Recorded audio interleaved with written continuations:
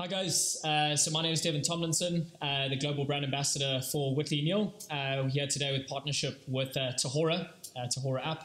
Uh, we're going to be making some delicious drinks. Um, it's the best time uh, for you lovers that want to get romantic out there with Valentine's Day. Um, so we're going to take you through a series of drinks. We're going to style them up from good, better, best in terms of difficulty. Um, so hopefully you can replicate one of these at home over the weekend and impress your lover. Um, if you don't, they're also great by yourself. Um, if you if you don't obviously unfortunately you don't get anyone this weekend, uh, Whitley Neill's here to to supply the good stuff. All right. So first things first, uh, just before we talk shop about brand. Uh, as long as you guys have a stove at home, uh, we're going to be making a quick syrup together. Uh, just obviously, the syrup you're going to be making is going to be used in all the drinks, um, and obviously, hence why we wanted to start with that. Process normally takes roughly a couple minutes uh, to cool down as well. All right, so first things first here, uh, we've got a little gas stove. Uh, just obviously pop that on using a lighter without trying to blow up your kitchen. Okay, there we go. All right, so pop the pot on there. Uh, very simple. A lot of people get confused uh, when making sugar, sugar syrup. Very easy. Any cocktail bar um, obviously has that. Uh, you, there's traditionally stuff called gomme or traditional sugar. And so gomme is just a, a two to one ratio, uh, which we're going to be making now. The first thing you're going to do while that's getting nice and warm, when I say two to one ratio, that's two to one or whatever you have in your house. I'm going to be using a just a regular glass. So basically one cup or one glass full of water, all right, to two cups of sugar. All right, so as simple as that, guys, that's all it is. So any mixologist that gives you any of his details, you guys don't need it. All right, you can make it at home. All right, two to one. All right, yes, that is a lot of sugar. For those of you that don't know, liqueurs, if any of you drink liqueurs at home, uh, to be a liqueur, um, an alcohol has to be 27% or below, but have 150 grams of sugar. So for those of you that like your liqueurs, uh, great for winter, but not so good on the dad bod, huh? All right, so give that a nice stir, guys. Uh, you roughly need, uh, for this to cook, I'm going to push this to the side uh, while we have a chat. Um, just keep an eye on it as well. You're going to roughly need a couple minutes, probably two to three minutes um, for that sugar syrup to cook down. Once you start seeing it reduce and it loses its color, uh, that white, uh, it starts getting clear. You obviously know that it's obviously cooking down. I need you to add roughly five to 10 raspberries, fresh raspberries. Um, so all of you, obviously on the shopping list, just from any grocery store down the road, we'll pop those in, stir them out, and then I'll show you guys what to do. Okay, but first things first, uh, the reason why I'm obviously involved in this industry and enjoy uh, the gin category is this beautiful brand here, Whitley Neill. Um, I came from South Africa, been living in London for the last couple of years and traveling the globe, uh, teaching the Chinese, the Russians, and Americans, um, and a couple of other cultures on how to actually drink this product. Uh, very unique. It's now the UK's number one premium gin. Uh, so at the moment, Whitley Neill is a 1.3 million case brand. Uh, from five years ago when I started, it was 50,000 cases. So roughly 3,000% growth in four years. So really good product. Moved away from traditional style gin to these style gins. We call them flavored gins. Uh, or compounded gin. Um, so what we have here is Whitley Neill Raspberry, great for Valentine's Day, uh, great for any time of the year actually, great for summer, great for spring. Uh, but I guess you know raspberries, you know, kind of that.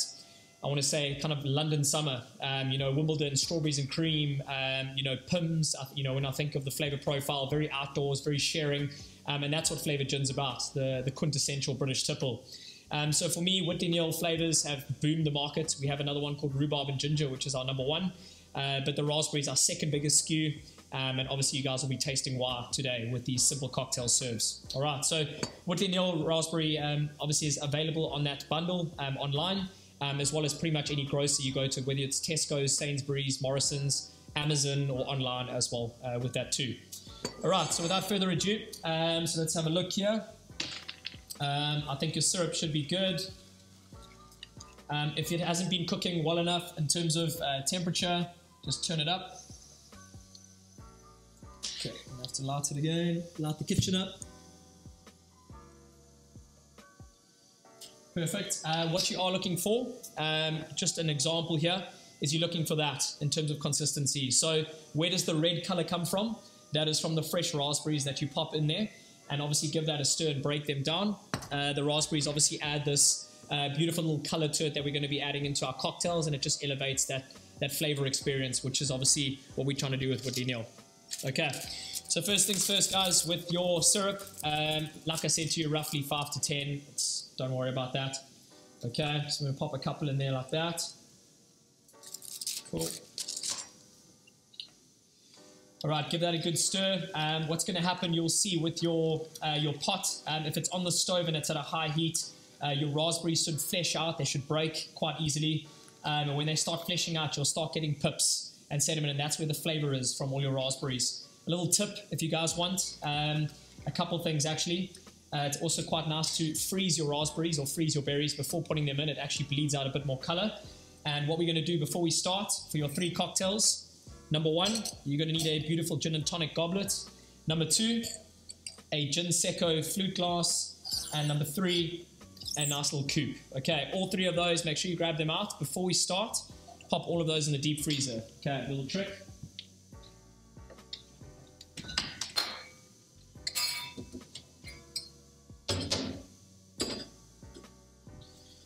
Right, this one might break, eh?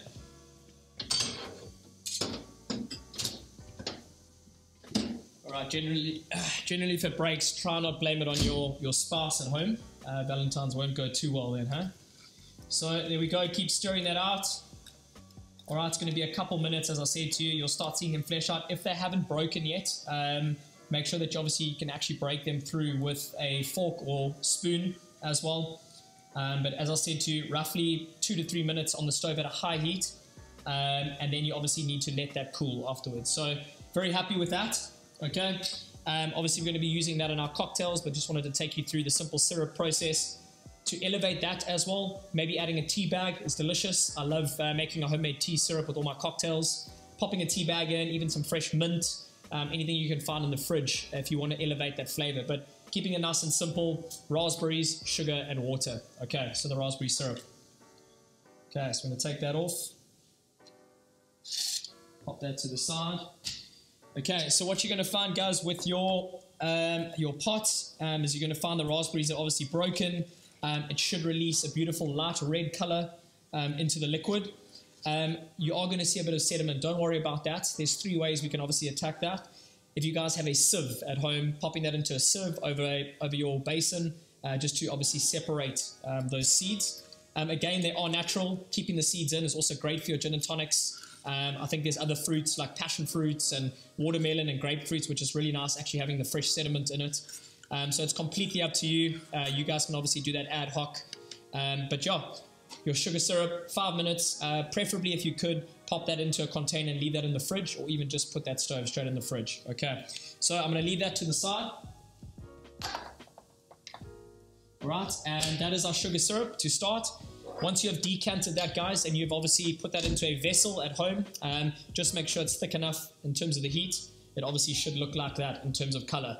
Beautiful consistency. If you cook it longer than five minutes, it's actually going to turn into a, a, a very thick viscosity. So just be careful. It's going to be really thick in terms of profile. So the first drink we're going to be doing uh, with Tahora and you guys is um, the Love and Tonic. Um, so Whitley Neill Raspberry. Uh, we've actually just finished a relationship uh, building exercise with our brothers in arms, Fever Tree. Um, so Fever Tree pairs really well with our Whitley Neill range. Um, and we're going with the aromatic tonic, uh, a very unique pairing. Uh, but obviously something that actually worked really well for us in that incubation session that we did with them um, at the end of last year. So aromatic tonic, uh, you can find that any grocer as well, uh, any traditional grocer, um, but really pairs nicely with the raspberry guys. So beautiful flavor combinations. Uh, we're going to be garnishing that uh, with strawberry, okay, and fresh mint. Okay, so I'm going to show you guys a little sneaky technique. We're going to make a strawberry rose uh, in terms of the garnish. Okay, to obviously impress your your partner at home. Okay, so guys, your glasses, you put them in the in the fridge. Grab your Copa glass up first.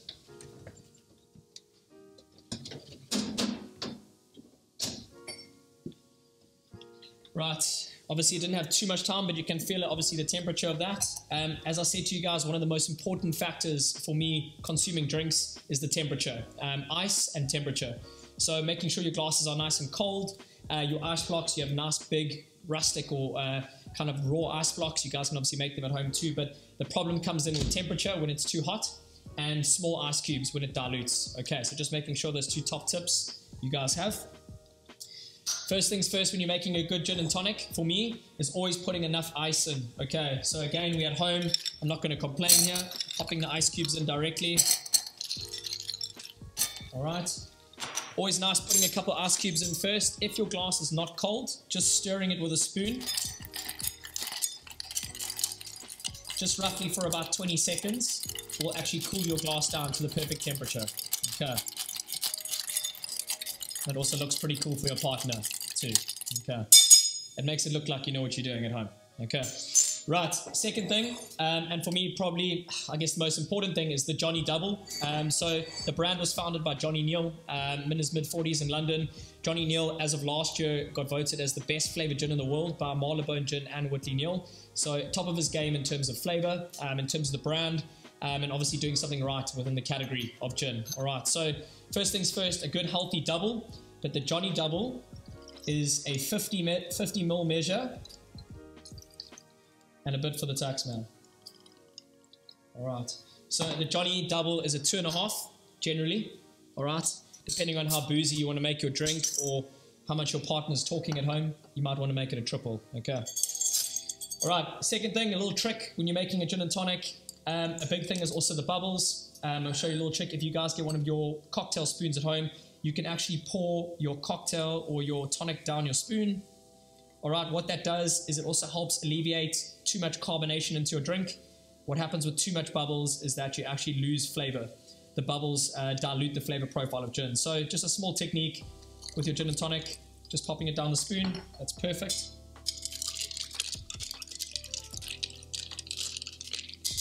All right, I'm gonna pop that to the side.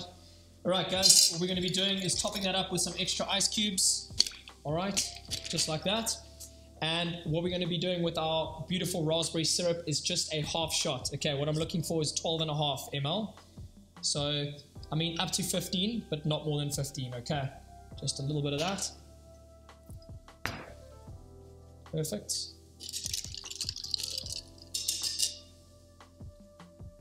All right, delicious, cool.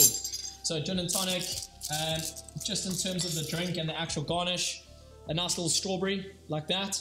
If you want to do it simple, all right, just a straight incision in half like that works perfectly and fine. All right, you can pop those in.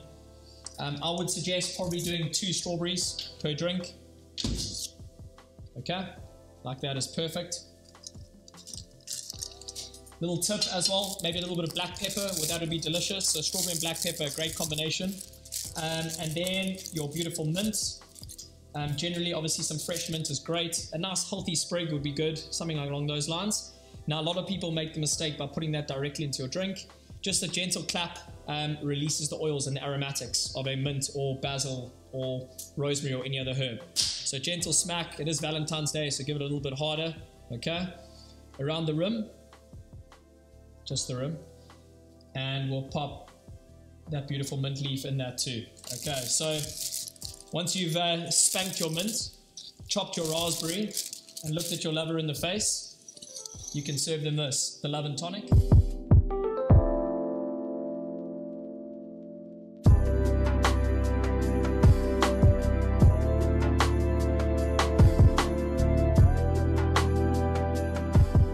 Um, 50 ml of Whitley Neill gin, some aromatic tonic, a little bit of your raspberry syrup, some chopped strawberries, the strawberries potentially can just go straight into her mouth or his mouth um, with a nice little mint clapped sprig on the top with a gentle spank. Um, should obviously get that started on Valentine's Day. All right. And I mean, obviously, I'm going to say that's good, hey, but it's pretty decent. Okay, so that's the first one. Um, what I wanted to show you guys quickly, you guys can have a look on Google as well in terms of the process, but there's a simple process to actually cutting a rose or if you guys want to get creative, cutting a rose out of a strawberry, the first thing you need to do is push your fork into the back of the strawberry on the green side. Okay, so just like that. And what you need to do is make three incisions on your the base of your strawberry. So if you can see that, one, two, three. And on each one, just fold back gently what we're going to be making here is a strawberry rose. Now, this is definitely going to be raising a couple eyebrows with your partner. do the exact same thing, but inside the gaps, all right, of the ones you've just made, and then a slice at the top. Very simple. Okay? And obviously, these tutorials are online, but that is a strawberry rose. Okay? You do not need to buy roses for your misses or gentlemen this year. You buy strawberries and you make a gin and tonic with Tahora and Whitley Neill. Okay? And you can pop that straight in there. And hopefully, the mint and that beautiful strawberry rose leads to a better evening. Okay? So that is the start, guys. That is our first drink for tonight. Um, I hope you enjoy that. That's about as simple as it's going to get. Uh, gin and tonic, good garnish, how to elevate the experience. Ice cold uh, glasses, good ice, making sure you spank your mints. Um, obviously, feeding the raspberry, one raspberry to your partner, the other one in the drink. Um, and obviously, you can obviously play around with the garnishing on that. So, a lot of fun. You guys can obviously entertain your partners at home with that. Okay. Second thing, uh, we're going to move up in terms of complexity. Again, quite easy, only three ingredients needed. We're going to be using Prosecco, Whitley Neill, um, and some fresh lemon. Let me grab the lemon out the fridge.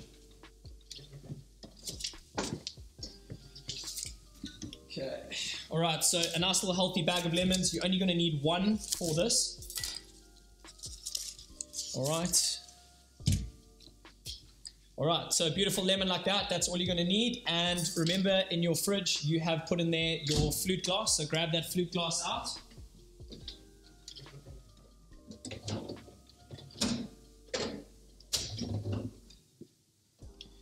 Okay, normally with your freezer, that should be nice and frozen. Uh, but again, it's fine, just obviously temperature when you start making sure that that's cold. So this is a very interesting drink. Uh, what we're going to be making, it's called the Gin Secco um, on the travels to Australia and Dubai in 2019 or 20 yeah 2019. Uh, we discovered that flavored gin had already entered the market, but we needed something unique to enter the space. Um, along came the idea of combining the daytime drinkers' favorite tipples, so gin with prosecco or champagne. Uh, a very famous cocktail called the French 75, uh, available in every bar across the world. Uh, but what we've done is combined two very popular, very affordable products that is very easy to make at home: flavored gin uh, champagne or prosecco, and a bit of fresh lemon. Okay, so French 75 is four ingredients. It's champagne, sugar, citrus, and gin. And what we're doing here is because this is a sweetened gin and we have a bit of sugar syrup, we have all the ingredients to make our own version called the gin secco. Um, or alternatively, we've called it the berry gin secco for today, for Valentine's Day. Okay, so very simple with this, it's quite easy. Um, just to make sure that you guys are aware, the measurements are quite important. Um, if you do not want to put the gin in and you think it's too strong, you can just put these two. Uh, but obviously, it is Valentine's Day, and I guess you know after a really long and tough year, almost a year now since we've gone into lockdown, I suggest we put gin in it. All right, I think I think we all deserve it. Okay, so two to one ratio for your gin secco. It's 20 mils of gin. Um, so your 20 mils, roughly a, a shot. I would say almost a three quarter shot. Okay, so 20 mils in a flute glass. Um, again, you can obviously balance that and, and, push that up depending on your spec, but it's basically just a two to one ratio. That is all you're going to need. I'm going to pop these out the way. Okay. All right. When you are using a lemon, slice it directly down the middle. A little cheat code for you guys. Um, I'm to pop this into another glass. Okay. A vessel of any sort. If you guys have a glass or a bowl of any sort. Now, one half of a lemon, okay, is a, I want to say a full lemon will be at just over 25 mLs. Okay, so what you're looking for is half the juice of that. Okay, so there's two ways you can do this. Either slice it down the middle and use a wedge, or the best technique for me uh, and get the most juice, use a fork. Straight into that, rotate that clockwise while turning the, the fruit anti-clockwise. So very simple. What it'll do is it'll break all the sediment. Okay, very easy. Okay, and for me, that will actually create the most juice. If you're making any other cocktails at home, margaritas, gimlets, anything with a lot of citrus that you spend half an hour squeezing, again, it's for your Valentine, so you don't mind doing it. Um, but a little bit of fresh citrus like that, great. I'm to pop that off. But you can see that half a lemon will give you roughly pretty much a shot. Okay, almost 25 ml. So we're looking for half of that. Okay. Cool. That's all you need. All right. Okay, and then the last thing the same ratio of sugar syrup, all right, to lemon juice. Okay, so 20, 10, and 10. All right. And that is all you need for a gin secco. Again, remember guys, it's a dainty drink, it's delicate, um, and it's there to impress your partner. All right. So the next thing, um, obviously a bit of prosecco or champagne. Uh, we talk about the brunch consumer, the daytime drinker, um, and probably the biggest contribution to the gin boom internationally um, is vodka, champagne, wine, as well as rosé drinkers. Um, and again, everyone that drinks gin traditionally normally has that and enjoys a good daytime drink. I don't think anyone doesn't like a good daytime drink. So, cheers to that. Okay, no boy there. All right. Okay, so what we're going to do is make sure you always tilt the glass. The problem that some people always do is pour directly in. Um, it's obviously going to balloon straight over if you do that. Always keep it to an angle.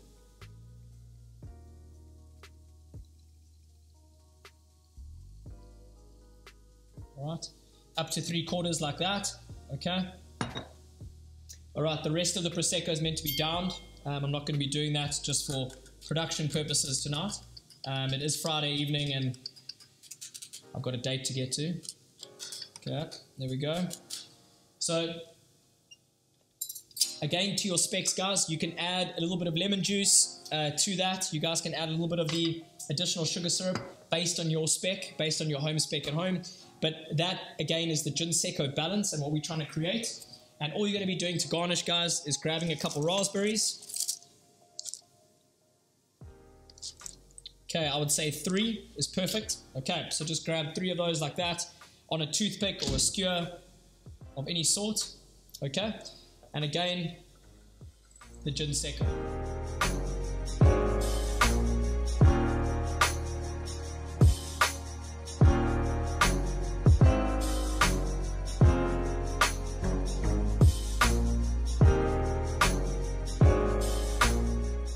Okay, So very simple, I guess. Again, you do not, if you want to simplify that even further, you can eradicate the lemon completely.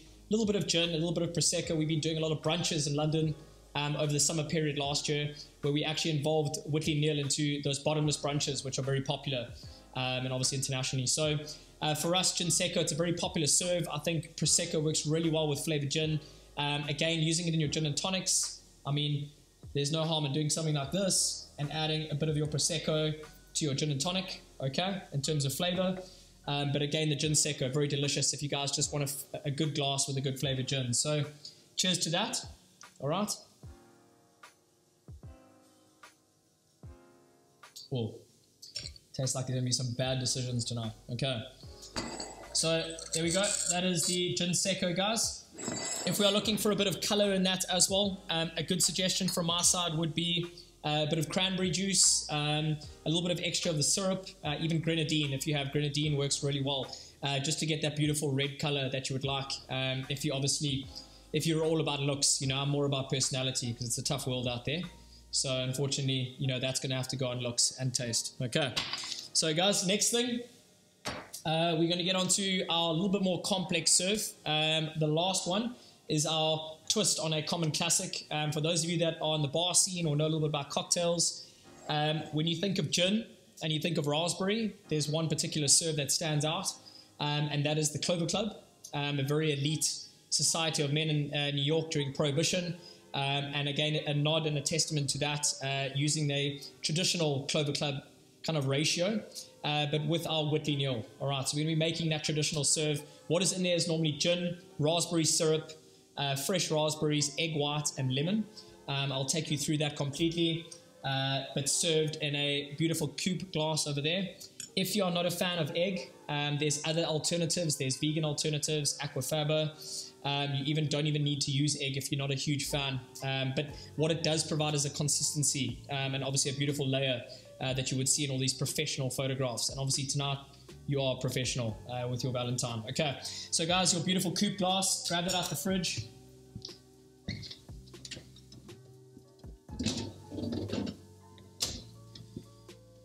All right, so that's all you're gonna need. Okay, so for this, gin, your coupe glass, that lemon that you had cut open earlier, your sugar syrup, okay?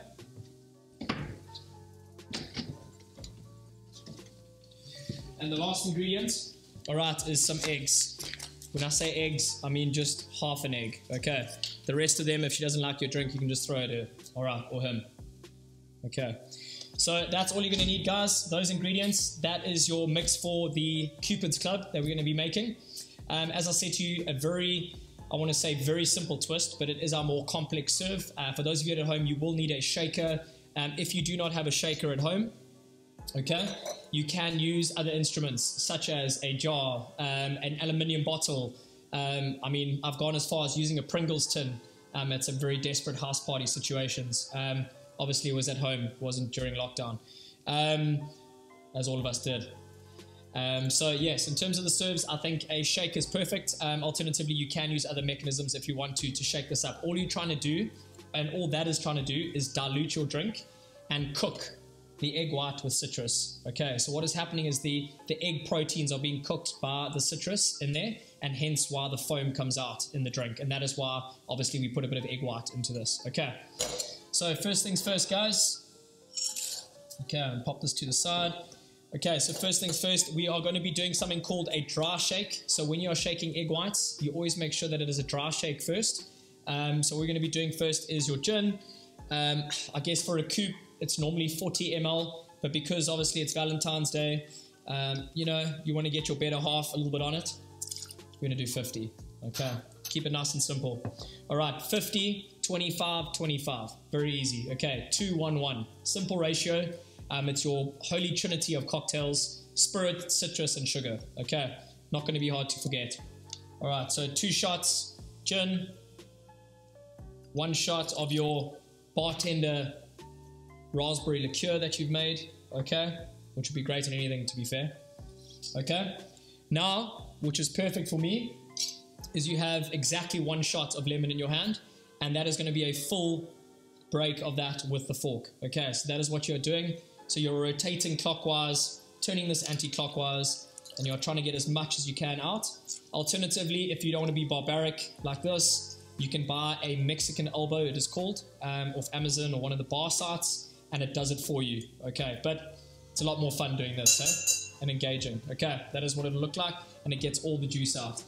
All right. So I think we're good to go. That looks great. Um, last little trick for a Clover Club. I want you to throw a handful of raspberries, roughly five, six is okay. Pop those all in there for me. Okay, a lot of people are scared of doing this. I'm going to show you the best way to create this now. Um, I'm going to pop this out and use this for you now.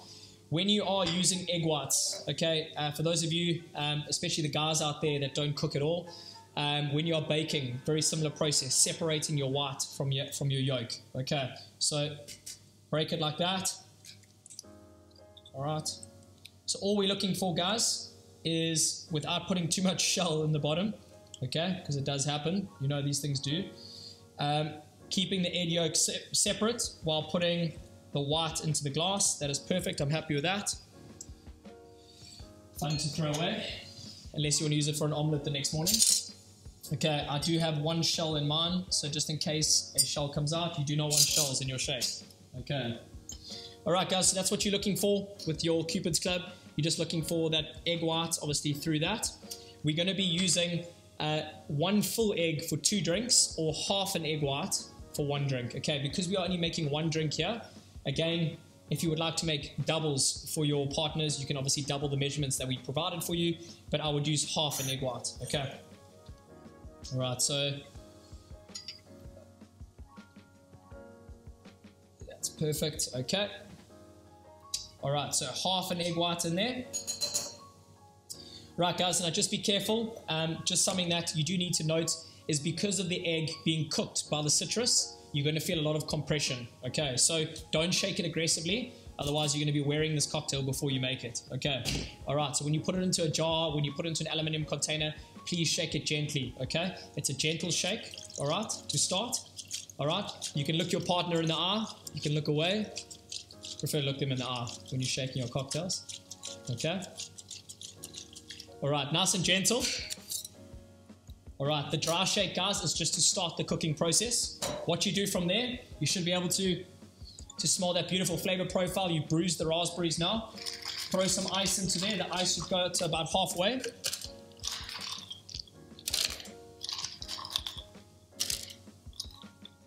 Perfect. Okay, you're looking for about halfway. All right, and give that a hard shake for about 15 seconds.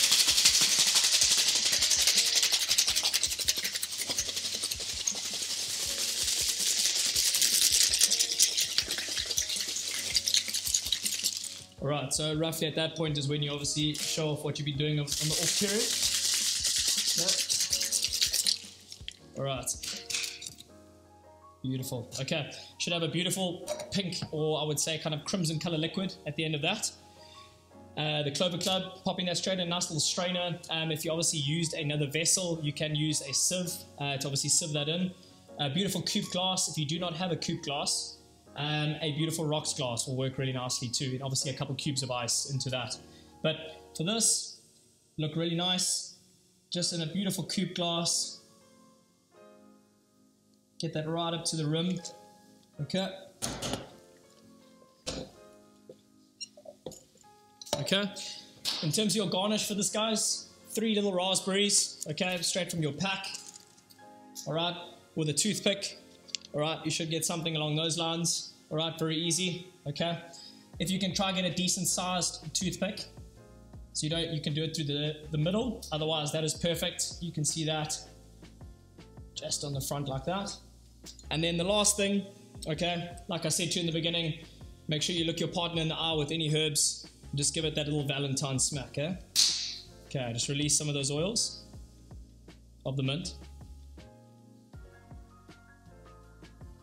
And pop that straight into there like that. Okay, guys, so the Cupid's Club.